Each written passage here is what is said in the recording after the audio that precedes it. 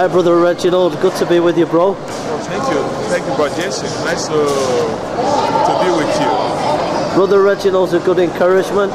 He's a blessing. And uh, I'm going to ask him some questions. He's agreed to answer some questions, and this specifically to help uh, young Christians.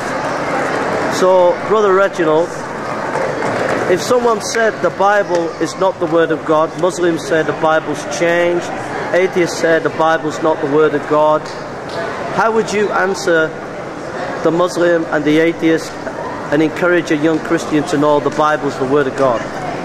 Well, first and foremost, um, the Holy Bible is the absolute truth of God's Word, God's bread, sent down to mankind. The Word of God is the Word is Jesus Himself become flesh and uh, is the bread of life, is the truth. That is the Word of God.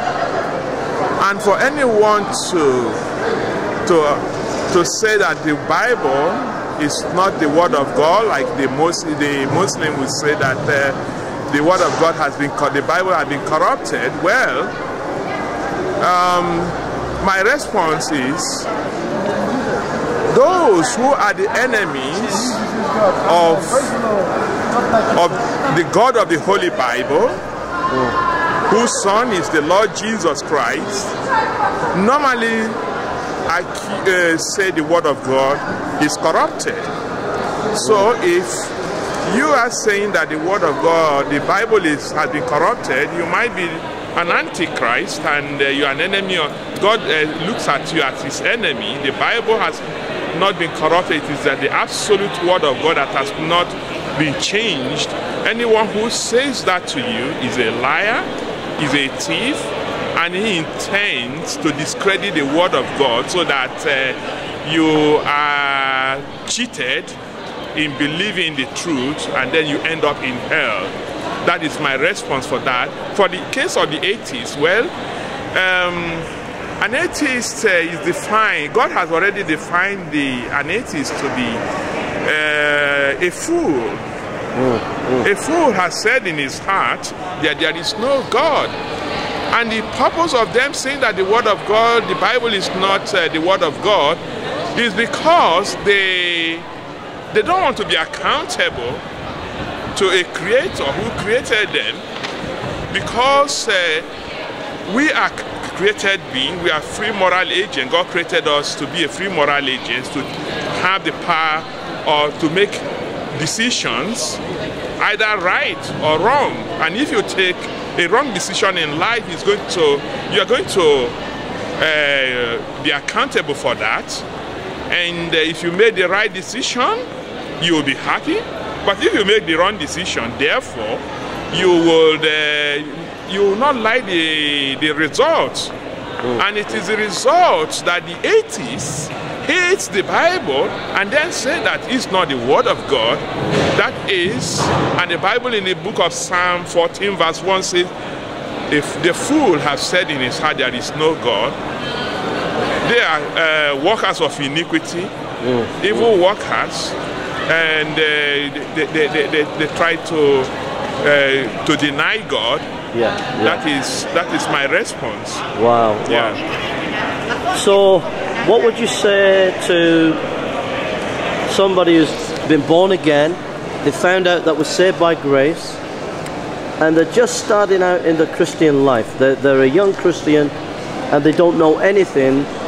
What advice would you give a young Christian just starting?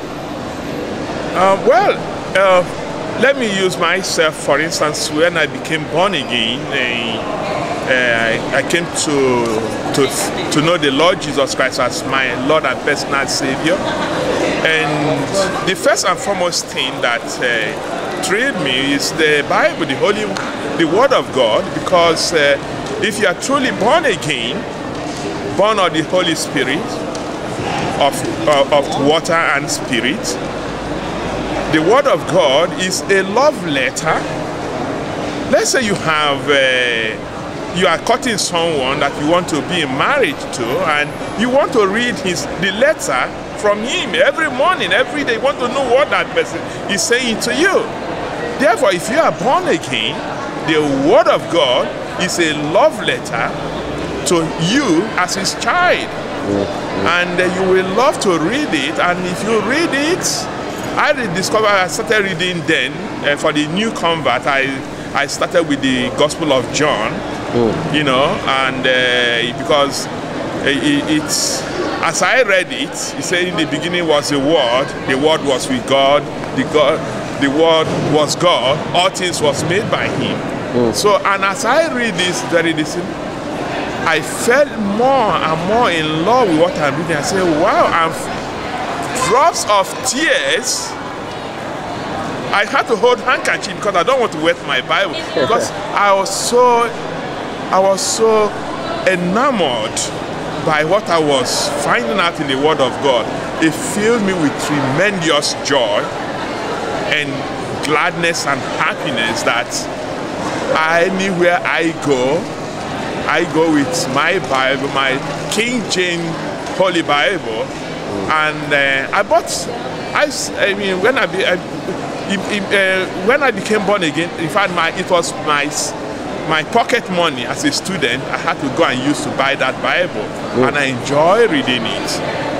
Morning in the morning after praying, I read the I read the Word of God because that is the food for my soul, my spirit Yeah, yeah. and uh, it keeps me balanced for the day that I I would uh, you know I would be myself and the Lord himself can speak to me through the word that I have read. He will remind me what I have read by the, in, in- the morning. He can speak to me.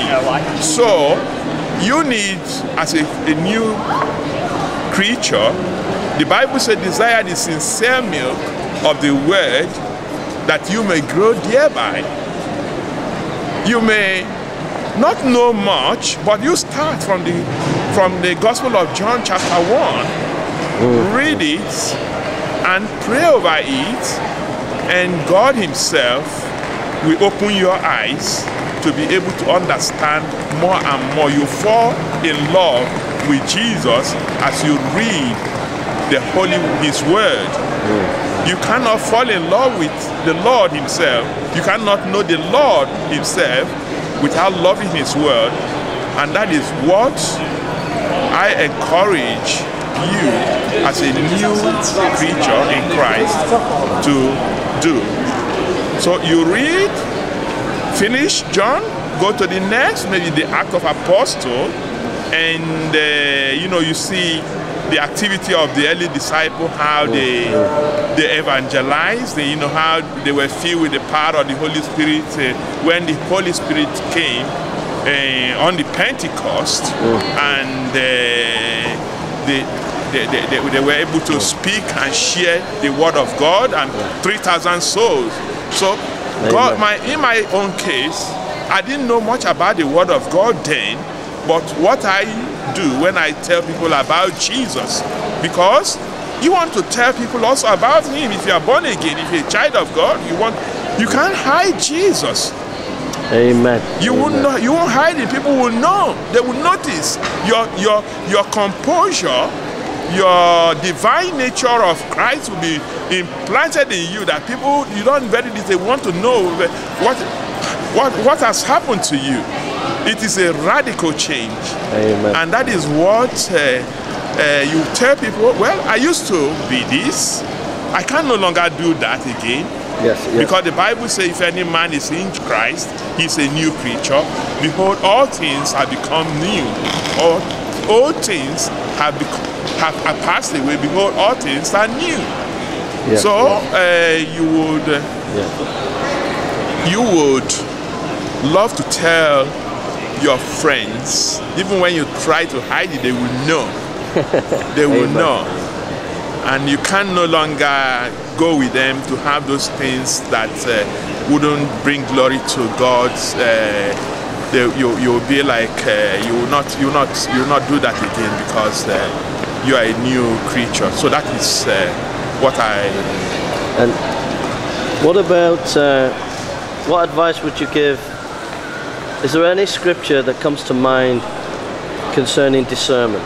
Is there any verse that comes to your mind? You know, in the last days, like Yeah, the uh, discernment deception. is but yeah, if, the- if there's a, is there anything you could just share, just briefly, about the importance of being discerning? That there's a lot of not like not not go into detail about the the issues, but uh, but just the importance of of making sure, like you mentioned, the King James Bible, the importance of reading a good Bible translation, the importance of keeping sound doctrine.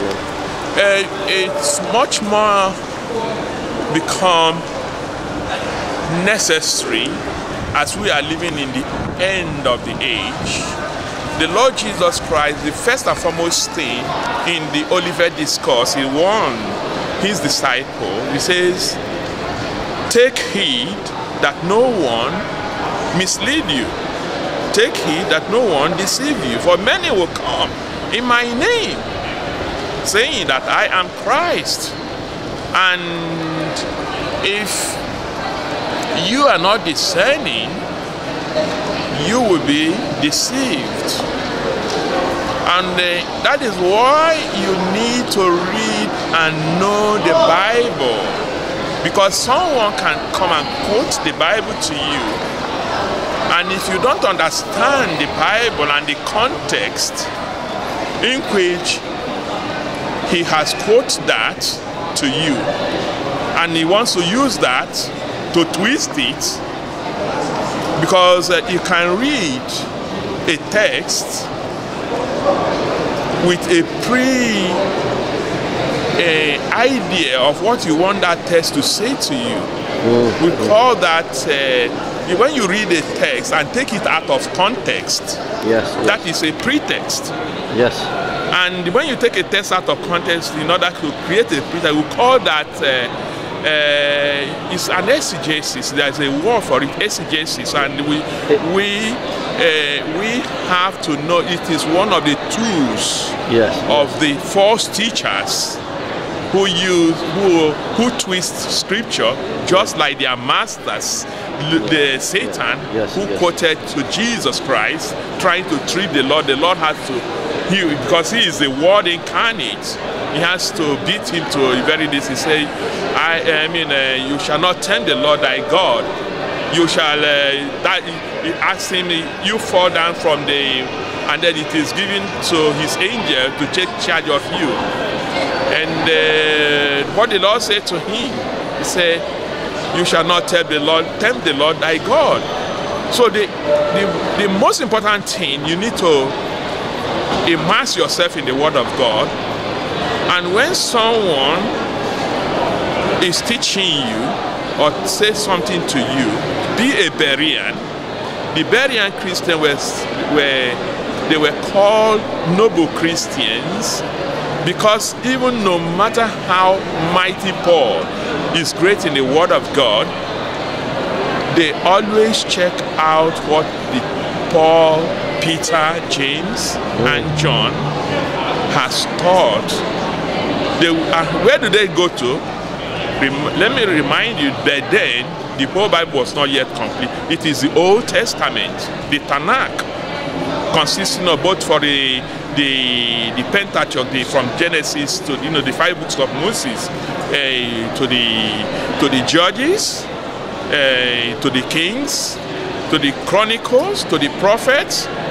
This uh, this is where these Berean Christians referenced.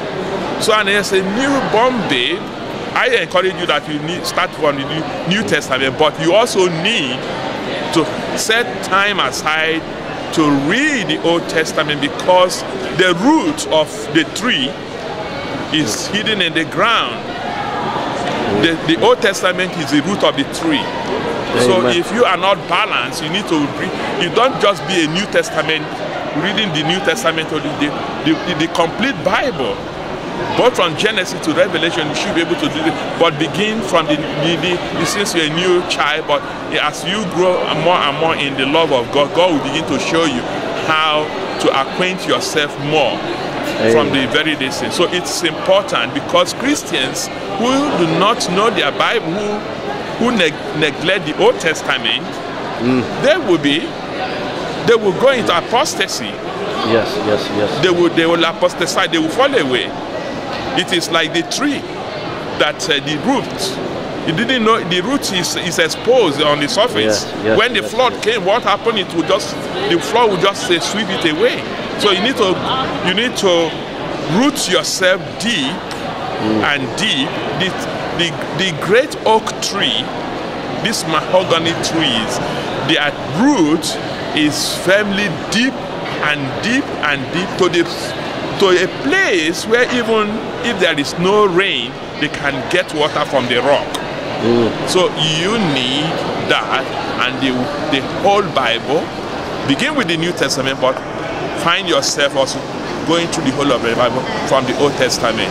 By that you will not uh, fall away. That is my advice to you. Thank you, brother. Thank right. you for your encouragement. God, bless, bless you, you. brother. All right. God bless you. All right.